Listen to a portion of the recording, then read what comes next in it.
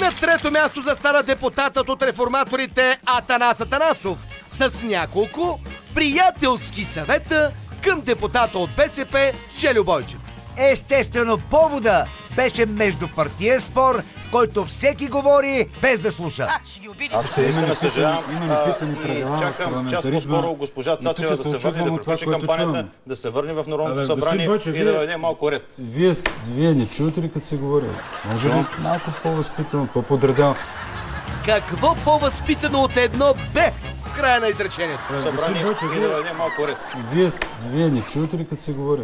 Може би малко по-възпитано, по-подредено. Ето за срам ставаме пред хората. Аз затова казвам срам ме. Ими, Аз съм е човек, който... Не ви е срам! Аз затова казвам срам. Ими, Аз съм е човек.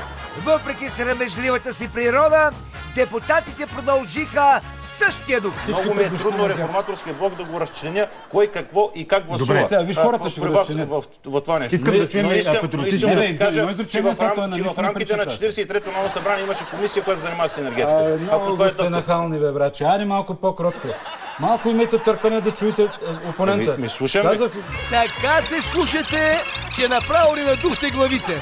а, много е сте нахални, бе, браче. В крайна сметка Атанасов обвини ГЕРБ за активността на БСП. Видяхте ли сега от ГЕРБ кое свършихте, бе? Отворихте им устата.